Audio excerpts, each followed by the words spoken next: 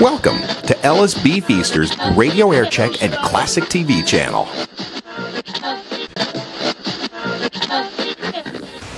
I do something bad, will you still love me? She's eight years old. We'll have her. And there are forces out to get her. What if we could train this little girl? Not for what she's done, Something's happening in there. but for what she is. Back up. Charlie McGee is Stephen King's Firestarter. Will she have the power to survive? Rated R. Starts Friday at select theaters. Check newspapers for locations.